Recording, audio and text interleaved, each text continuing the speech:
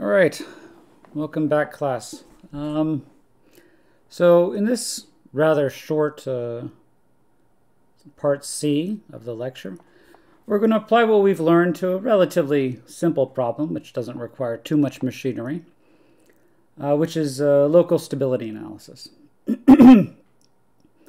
now, I think if you've learned anything from part B of this lecture, which is it is that when choosing your representation of the set, um, balls are best.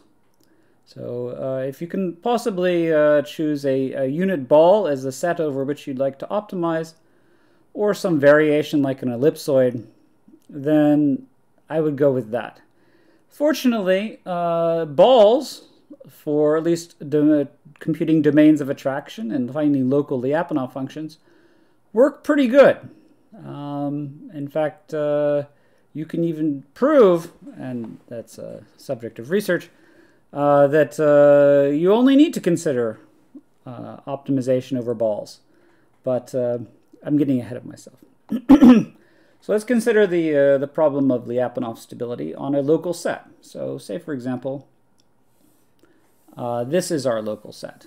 We want to find a Lyapunov function on this, this set S here. So we can define this set, uh, actually this is a hyperrectangle, so uh, we could do this uh, with some p's like uh, with the uh, um, uh, a minus x, x minus b greater than or equal to 0, and then for y we could have um, a, say a2 minus y, y minus b2 or something like that. Um, this uh, is not a great representation, though, because each of these is not actually p-compact. Uh, because uh, e this representation is looks like that, and this representation looks like that, right? Well, actually, if this got my coordinates reversed, but this one looks like that, and that one looks like that. So, right. So there are the, each of those uh, functions is not themselves p-compact. So actually, this uh, hyperrectangle is a little bit tricky to, to do uh, optimization on. So I suggest getting to balls where we just consider x squared plus y squared is less than or equal to b, right? That would be better. But anyway, in any case, uh, assume you've chosen your domain, right, that you want to search right? Or x, I guess I'm using x now for some reason. Um, so if we apply the uh, Putinar's Positivstellensatz to that, well, what are we looking for? We're looking for a v of x, which is greater than or equal to 0 for all x in the set. And we want v dot, which is nabla v transpose f of x, which is a polynomial as well, to be less than or equal to 0. And we'll just put a negative sign in front of that, so it's greater than or equal to 0 for all x in that set.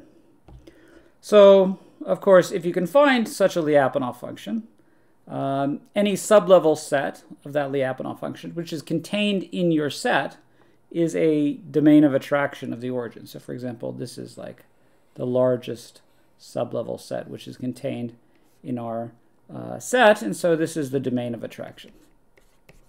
These others uh, are not provable domains of attraction because they leave the set, and so we don't know what happens out here.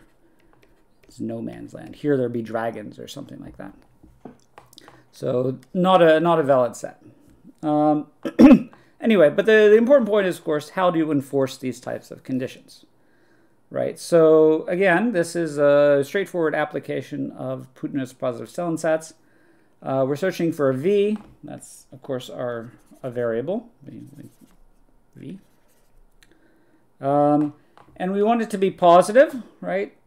Uh, so we add a SOS variable, but we only want it to be positive on the set, so we can add the SOS multipliers, right? So we can bring those PIs down into our positivity representation. Each of them gets an SOS multiplier. Those are variables. And then we have a strict positivity term, so actually we want this to be greater than epsilon x squared. Uh, that's that we could move that over here, right? and uh, that's, uh, but we, we, we didn't, we, we left it on the right-hand side. Uh, so essentially what we're doing is then proving v of x minus that is greater than or equal to zero. So again, this is uh, this is what we get from the p-sets. Obviously, it's a sufficient condition for v to be positive in the ball. Likewise, for the derivative, we take the negative of the derivative because we want it to be positive. It's equal to another SOS variable, t, SOS variable, some more SOS variables, other t's. And uh, we want the derivative to be strictly greater than or equal to zero as well. So another epsilon x squared here. And uh, again, we could move that over there to make it sort of fit in our Psatz framework, but I've skipped that step. And so if uh, v dot is uh, negative v dot is equal to something which is positive plus some term which is greater than, clearly then we have uh, v dot is less than or equal to, just multiply through by a negative sign. You switch our inequalities, less than or equal to negative epsilon x squared. So this is a Lyapunov function which is decreasing everywhere in our set. So we can go a step further and get the domain of attraction. And we have epsilon, so we have exponential stability. We can get a domain of attraction, or an estimate of the domain of attraction, by finding the lar any sublevel set, really, but of course we're interested in the largest one, any sublevel set of V, which is contained in that set. Now how to find that sublevel, that largest sublevel set is itself an optimization problem uh, using bisection on the, on the sublevel set, and we'll talk about that in a second. So then the rest of this uh, lecture is just how to enforce these types of conditions. So basically, first of all, right, um, we consider the van der oscillator, right? Uh, the first question we ask is what should we choose for our PIs, right? Well, this is a tricky question because we're it sort of assumes we already know what our domain of attraction should look like, right? So for example, if we know that the domain of attraction looks like this, well then a good ball is something which is sort of a representation-ish of the domain of attraction, which would be a ball of radius, I don't know, what does that look like? Look like r equals 3 or something like that. And then, uh, so we should choose, a, we'll choose a ball, right, x squared plus y squared. Um, actually, there's a equals r minus x squared plus y squared, which is greater than or equal to 0 uh, on the unit ball. So it's an exact representation of the ball, not the unit ball of radius, square root of r. So we can add an r squared there if we like. Then it's ball of radius r. Right. Um, so again, right, uh, we don't really know what the how where to what set to enforce our uh, derivative inequality on. Um, fortunately, we it, it doesn't require that much knowledge, so we can just increase, uh, start with a, a, ball which isn't too big, maybe radius 1, and we find a level, uh, Lyapunov function, and then we can push our luck by increasing the radius a little bit, radius 2 maybe, increase our luck a little bit, choose radius 4, then it's in, infeasible, and so we reduce to radius 3, we find that's feasible, and we just keep bisecting on that radius until we can no longer find a Lyapunov function on that ball. So we just uh, bisect on the radius of the ball until we can no longer find a valid Lyapunov function on that ball. So for example, uh, for degree 4 it looks like, if I erase all my scribbles here. So it looks like on degree 2 we were only able to find a, a, a Lyapunov function on a ball of that size. Degree 4 we were able to find a ball of that size. Degree 6, we were able to ball, find a ball of that size. And degree 8, we were find, able to find a ball of that size. Notice that just because the, uh, the so we don't, so just because uh, the, the system is unstable in some regions of the ball does not necessarily mean that we can't find a valid Lyapunov function there. Because in this region of the uh, of the domain, v may be decreasing, we may enforce v to be decreasing, but that doesn't necessarily mean that that is a stable point. So for example, the sublevel sets, right, of v may leave the ball, and that's a, that, that so not that point is not necessarily stable just because we can find a valid Lyapunov function in that point. It's only the level set which is contained in the ball on which we are able to do, prove a domain of attraction or prove stability. Right. So don't worry about the uh, making sure that uh, all points in your ball are stable. Just find the largest ball on which you can find a Lyapunov function which proves stability of some set. And then once you've found such a Lyapunov function, uh, the secondary task is to find this largest sublevel set of that Lyapunov function, which is contained in the ball, which is a bit of an easier task, but also requires an SOS program. So this requires an SOS program, as does this. So what are these SOS programs? Right. So uh, here we're implementing an SOSTOOLS just because that makes life easier. Um, and uh, here we're finding, a, we're uh, analyzing the uh, van der Pol oscillator. These are the dynamics of van der Pol oscillator. That's not the dynamics. This is the dynamics of the van der Pol oscillator. In reverse time, of course. And here's our ball of radius, well, actually square root of r. If I put squ r square there, I could have done that as well.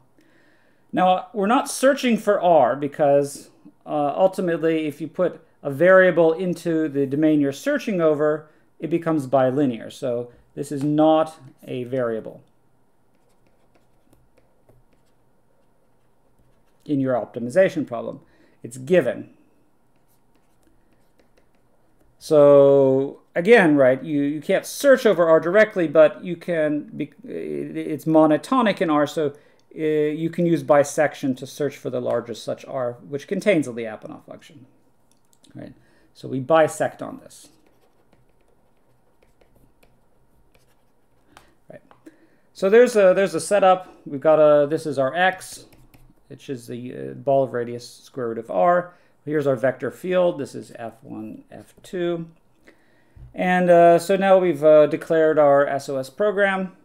Uh, here we have two SOS variables. The first one, of course, is the Lyapunov function itself. So this makes V in SOS, sum of squares. And uh, of course, SOS itself is not strictly positive, right? It doesn't, uh, a valid uh, uh, solution to this would be V equals zero, but we don't want V equals zero. So we're going to add a little extra term to our V to make it strictly positive. And so we'll add this point epsilon 0001 uh, times x to the fourth plus y to the fourth, right? So that makes v greater than or equal to 0.001 uh, x to the fourth plus y to the fourth, right? Notice it's not squared as we had in the previous one, so uh, keep that in mind. And then, of course, we have that constraint here, uh, equality constraint, v of 0 equals 0. So substituting in for xy at 0, 0 and making that equal to 0. So this is all equal to 0. We then form the derivative, the nabla v.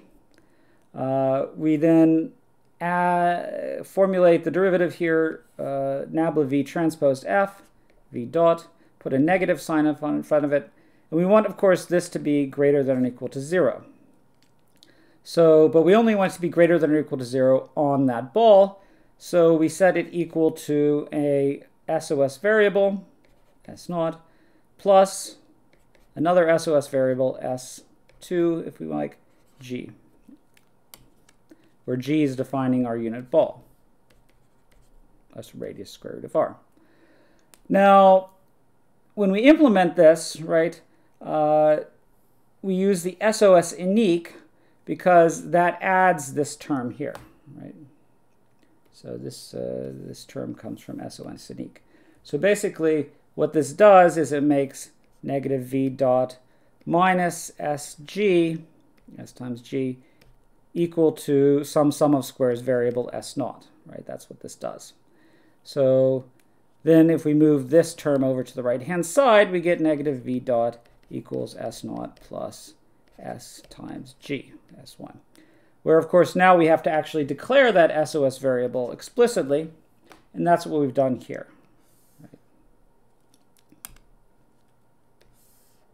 That declares that variable here. So the SOS var, right, requires that S be an SOS variable. And so now we've got our optimization problem set up. So we've got two SOS variables. One is implicit. We didn't actually declare it, but it's declared implicitly in the optimization problem using this ineq. Uh, so then we're, uh, we're pretty much done. We didn't require here strict negativity of the derivative, so uh, it's not going to get exponentially stable, just Lyapunov stable we solve the problem, and we get our solution v of n, which is a Lyapunov function. So now we've uh, found a unit ball, and we've found a Vn such that Vn derivative is less than 0, and Vn is positive on that ball, but not outside of it. So remember the oscillator looks something like that. poor illustration. Uh, and so now the uh, this oscillator is uh, going to the ball is going to have um, uh, it's going to be contained in that uh, its, its, limit point. So it's not it, it doesn't entirely contain the domain of attraction because if it did contain the domain of attraction, uh, we will be able to find a Lyapunov function which proves that the domain of something bigger than the domain of attraction is the domain of attraction, which is of course impossible.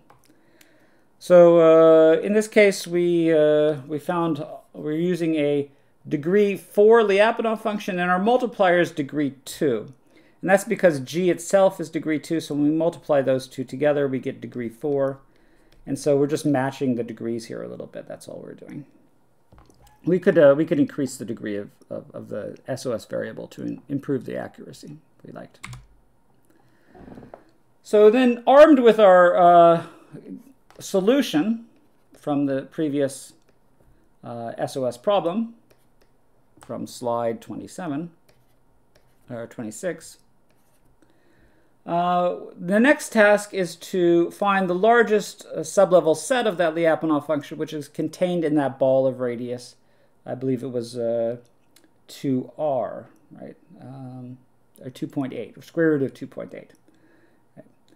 So Here's our, uh, that's uh, r there is uh, 2 square root of 2.8, right? And so what, what do we need to do here? Well, what we need to do is find the largest gamma such that for every point in Vn less than or equal to gamma,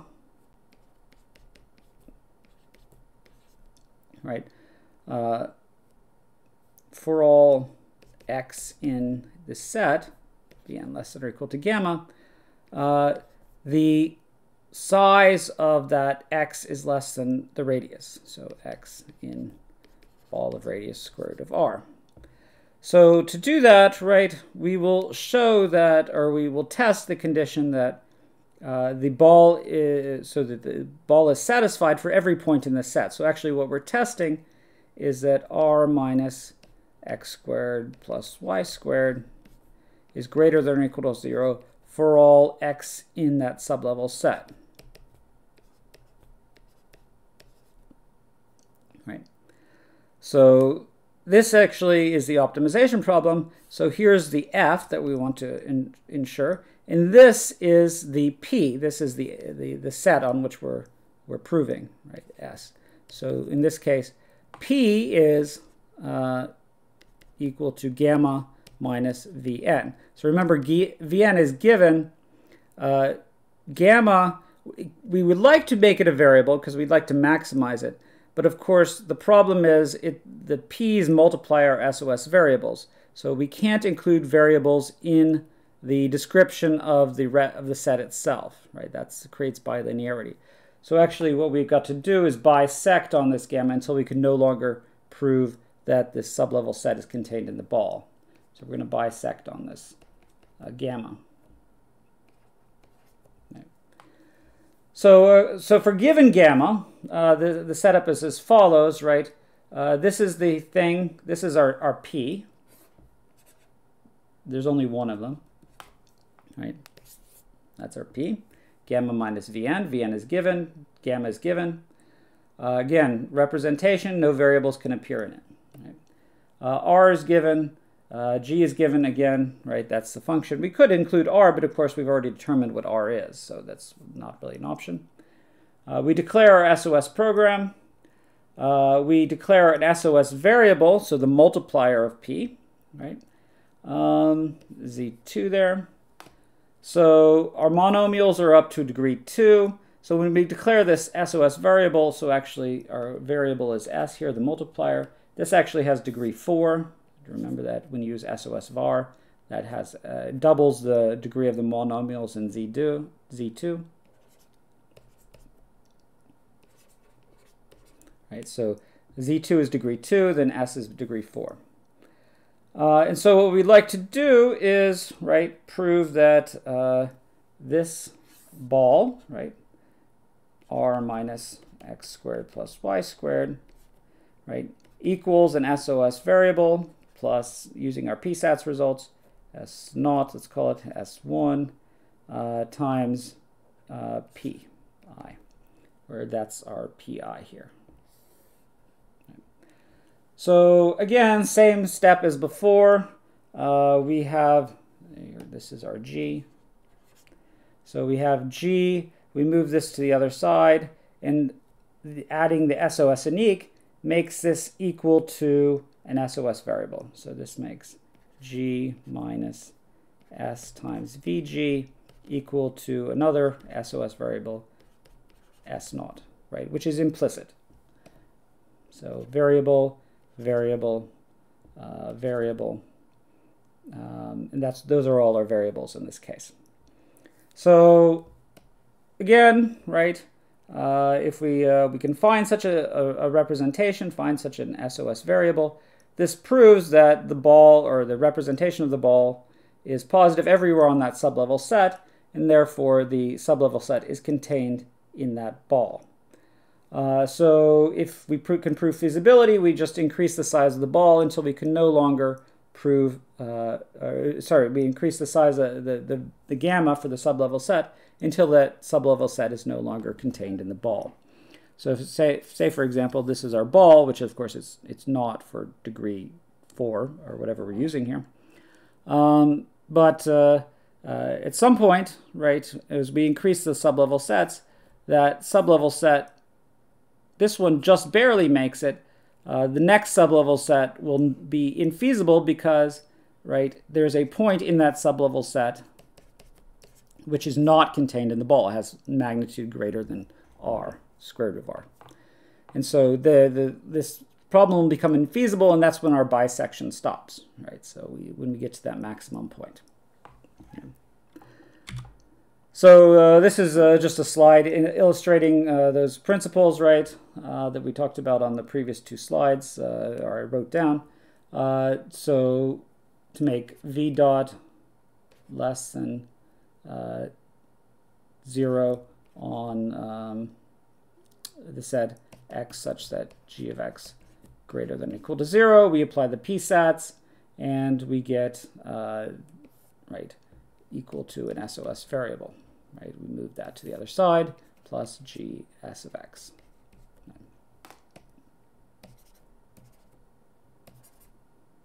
And this is a variable as well.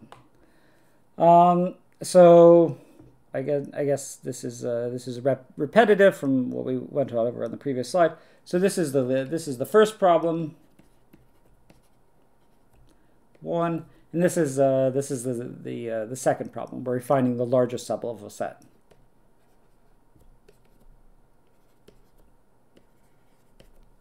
Right.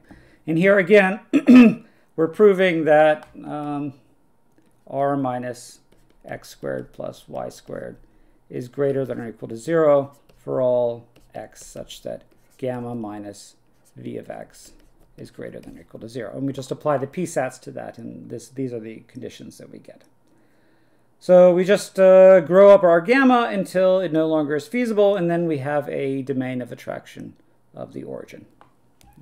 And actually, this works very well. In fact, you can actually prove uh, that as you get closer to the region of feasibility, it forces the Lyapunov function to uh, match the actual domain of attraction arbitrarily well. And there's various results on that in, in, in the literature.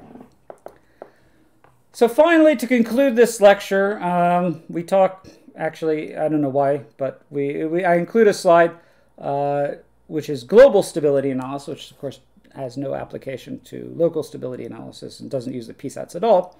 But I just thought I'd, uh, I'd throw it out there uh, for some extra SOS problems. Um, because I, I introduced this, this, this, set of dynamics earlier, so I thought I'd do something with it. Uh, so basically, these are the uh, Euler equations for uh, satellite dynamics. Well, we showed uh, in the previous lecture that, that they're actually neutrally stable. Um, in this case, we're actually adding a controller to these, to the, the, these dynamics. So a, a proportional controller. So that gets plugged in here. And we're going to prove that with that controller, these dynamics are exponentially stable. Uh, globally, actually, so not locally. So apologize for the lack of, of locality here, uh, but uh, here it is. Uh, here's the, the vector field, right? Here's the uh, nominal dynamics. Here's our controllers, U1, U2, and U3. Uh, they're defined here using the simple proportional control law, K1, K2, and K3, where we've defined actually the gains here to be 1 in each case. Uh, we declare our SOS program. We declare our Lyapunov function. Here it's going to be degree 4 Lyapunov function. Um, and uh, we actually include only the monomials of degree 1 to 2, so actually we don't need this constraint down here. Uh, so this is degree 4. Uh, we add a term to it to make it strictly positive,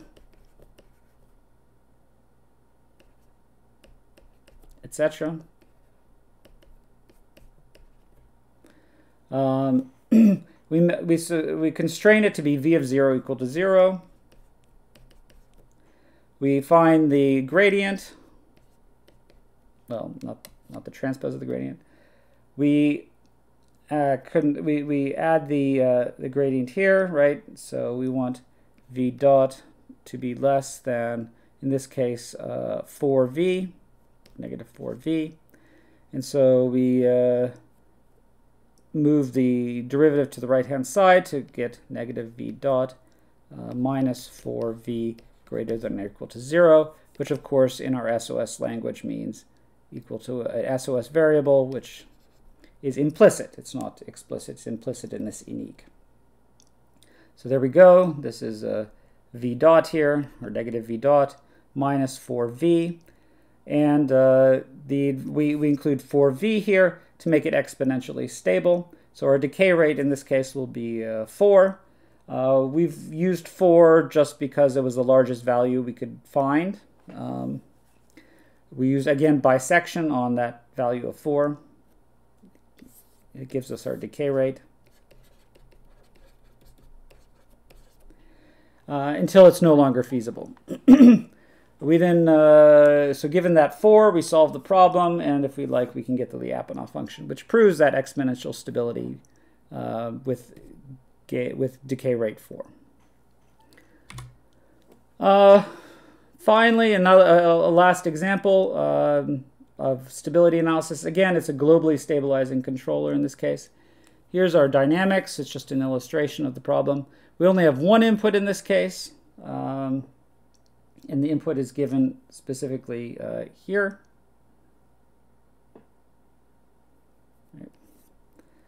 Uh, so in this case, actually, what we're looking for is a uh, controller uh, not a, we were not given a controller, we're, we're, we want to find a controller.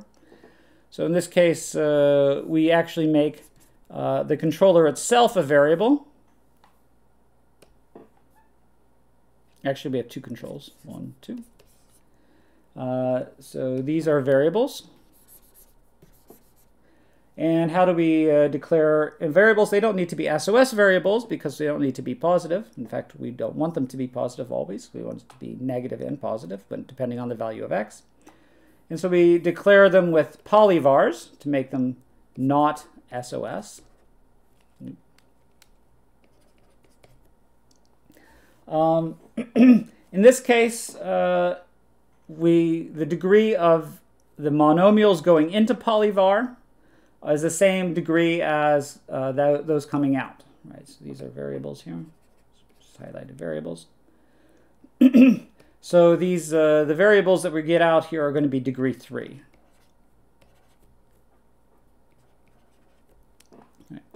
So uh, monomials, uh, both Z2 and Z4 are degree 3 in this case. Uh, the controller variables depend on Z4, so they're degree 3. Uh, our Lyapunov variable here, where's our Lyapunov variable? Actually, we're, we're using a fixed uh, Lyapunov function, so we're not even searching for uh, that Lyapunov function. so why do we need Z2 there? Hmm, good question. Uh, so we're using a chosen Lyapunov function. And we're not searching for it. Uh, we could search for it, but we've for some reason chosen not to. Um, I'm not sure why. In fact, actually, we're constraining v of 0 to be 0 here, so I'm not sure uh, that probably a uh, some reason I uh, must have been a mix-up in the code. Um, so let's uh, let's ignore this bit and assume our SOS variable is uses Z2, so it's going to be degree 4, or 6, I mean. Although apparently you only need squareds. Uh, then we form V dot, V dot. Uh, now, notice that the F here, right, is, uh, which is in V dot, is a function of our uh, controllers. And this is, of course, why we didn't choose v to be a variable. So, my mistake. Uh, because the derivative itself, right, uh, depends on um, gradient of v transpose f, which is a function of k, right? Well, it's actually f of x plus f of x plus a k, right? So if we made this a variable and this a variable, then we would have a bilinear term, and that's why we chose this uh, function. So uh, let's let's stick with that. So controller synthesis is bilinear in the, in the controller gains and in the Lyapunov function, and so we can't search for both, so we choose to search over the controllers for a given Lyapunov function. So this controller will work with this Lyapunov function. We chose a relatively simple Lyapunov function. Uh, but uh, then we don't need this constraint here. Uh, we still need to find nabla v, uh, but uh, this one is, uh, is, is not valid. We don't need that. Because uh, by definition of v, v of 0 is 0. Uh, so now we've uh, constructed v dot. We want to make it less than or equal to 0, so we add the unique sign to it. we solve the optimization problem, and it turns out to be feasible. Uh, so we can find an exponentially stabilizing controller, or actually just a, a Lyapunov stabilizing controller. And to recover that controller, we, uh, we use the getsol command, sos getsol here, uh, to recover our controller gains k1 and k2. So again, right, uh, we include this just uh, to sort of wrap up our uh, nonlinear stability analysis, um, saying, showing that you can do controller synthesis, but you have to fix the Lyapunov function. And don't include this term here. So in the next lecture, uh, we're going to briefly talk about uh, problems which are not Lyapunov function problems, so um, optimization problems per se and robust stability problems. Um, but at this point, we can conclude that Lyapunov stability is probably the most widely used application of sum of squares, and local stability analysis is probably the most common um, application of nonlinear stability analysis for sum of squares. And it requires the Psatz because global stability problems are relatively rare. Although in this case, right, uh, in, in the previous one, we could show we could find globally stabilizing controllers. So when you're finding controllers, uh, globally global stabilization is a little bit easier, but stability analysis and domain of attractions are inherently local problems. So with that, I will conclude this lecture, although not on a great note because I made the mistake in the slides, so I apologize for that. Uh, maybe I'll re-record it at some point, but not today. See you all at lecture 17, which will conclude this section on uh, the Psatz and SOS techniques.